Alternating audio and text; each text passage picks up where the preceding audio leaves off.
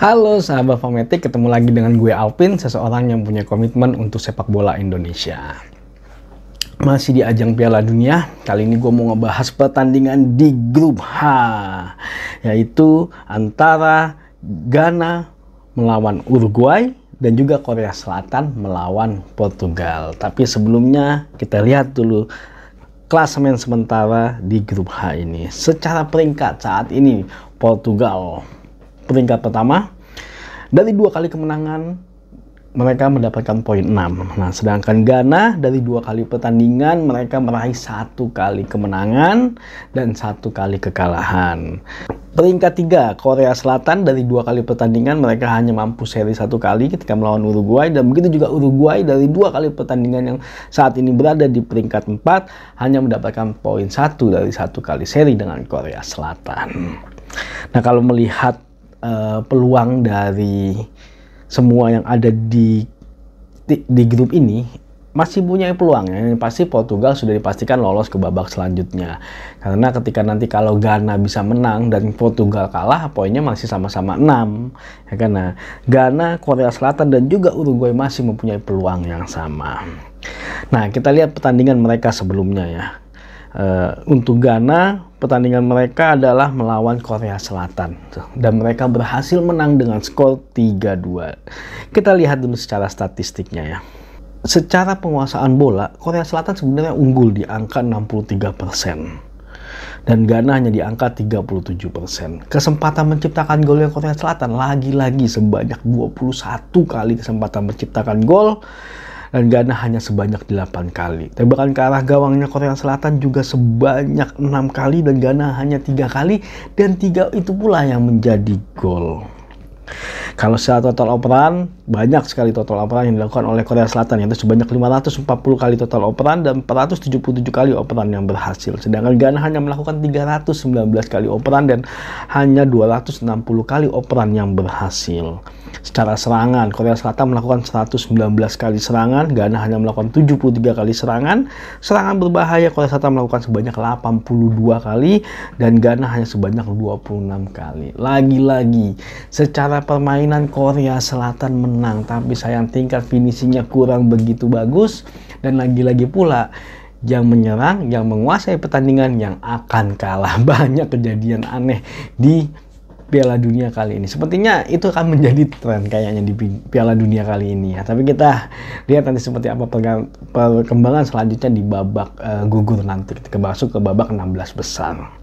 Tapi memang di pertandingan kali ini gue ngeliatnya memang sangat disayangkan Korea Selatan yang harusnya bisa setidaknya mengimbangi bahkan mereka sudah berhasil menyamakan kedudukan. Dengan ketinggalan 2-0 mereka menyamakan jadi dua sama tapi akhirnya harus kebobolan lagi oleh Ghana dan akhirnya Ghana berhasil menang 3-2 ya. Secara permainan sih gue ngeliatnya memang Korea Selatan luar biasa dan Ghana pun sebenarnya secara permainan pun biasa-biasa aja tapi memang efektivitas dalam hal serangan dan tinggal finishingnya luar biasa sekali. Dari tiga shoot tiga pula itu pula yang menjadi gol sangat luar biasa memang performanya Ghana kalau kita melihat pertandingan sebelumnya antara Portugal melawan Uruguay, Portugal berhasil menang dari Uruguay dengan skor 2-0. Nah, kalau kita lihat secara statistik, Portugal memang unggul dalam hal penguasaan bola yaitu sebanyak 60%. Kesempatan menciptakan Portugal yaitu sebanyak 15 kali dan empat kalinya mengarah ke arah gawang. Uruguay hanya mendapatkan kesempatan menciptakan gol sebanyak 10 kali dan tiga kali mengarah ke arah gawang. Secara total operan memang Portugal juga lebih unggul dibandingkan dengan Uruguay yaitu sebanyak 596 kali total operan sedangkan operan yang berhasil sebanyak 517. Cukup berhasil uh, tinggi ya pasien successfulnya Portugal.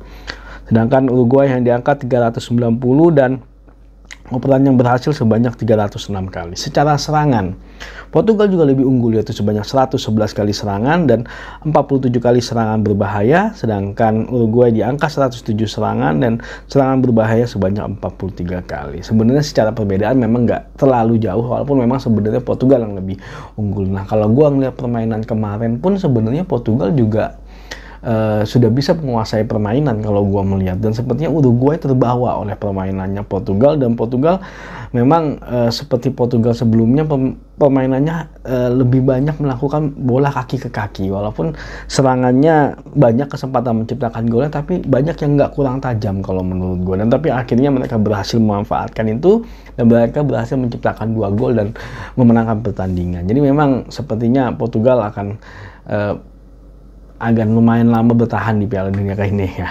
Karena udah pasti lolos ke babak selanjutnya. Dan sedangkan Uruguay punya PR yang berat untuk bisa lolos ke babak selanjutnya.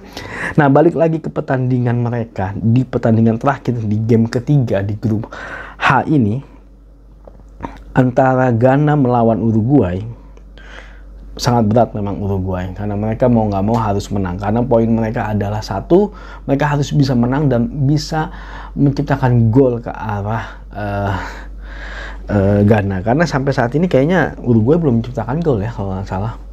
Ya karena memang dia seri 0-0 sama Korea Selatan dan kemarin Uruguay juga akhirnya kalah sama Portugal sebanyak 2-0.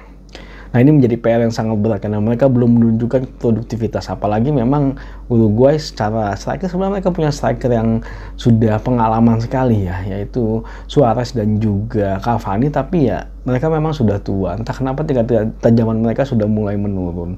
Dan itu mereka harus memikirkan hal itu dan Uruguay harus bisa mendapatkan feel-nya agar mereka bisa mencetak gol. Nah sedangkan Ghana kemarin memang sangat efektif sekali serangannya ketika mereka melawan Korea Selatan dan juga mereka cukup bertahan dengan disiplin dan melakukan serangan balik. Dan itu menjadi senjata andalan juga mungkin ketika mereka melawan Uruguay. Dan mereka mungkin akan coba untuk menahan imbang Uruguay. Tapi kalau gue melihatnya kemungkinan sih di pertandingan kali ini akan berakhir imbang. Karena memang Ghana akan mencoba untuk bertahan dan mereka mencoba sekali-sekali melakukan serangan balik. Tapi Uh, kita lihat nanti hasilnya seperti apa ya. Tapi kalau menurut gue sih pertandingan ini kemungkinan akan imbang lah.